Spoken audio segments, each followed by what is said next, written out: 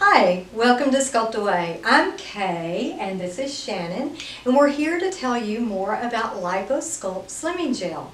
If you want to slim, contour, trim, and firm your body, you will love this. You'll feel the fat busting power packed in this gel. I mean, and who, I mean really, who doesn't have an area they'd like to slim and smooth? And you'll love this slimming gel because it breaks down and decreases superficial fat deposits. Plus, it smooths and tones your skin and it makes your, feel, your skin feel, you know, that supple feeling again. How does it do that? It's loaded with high quality ingredients that break down that fat and it increases the circulation and stimulates collagen production. What that means is you'll actually enjoy wearing those cute summer clothes and maybe even a swimsuit again.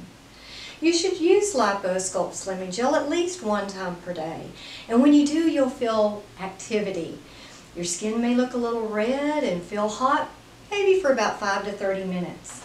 Shannon has applied the gel and you can see how some, her skin is turning somewhat red, but that's normal. That just means you're feeling it work.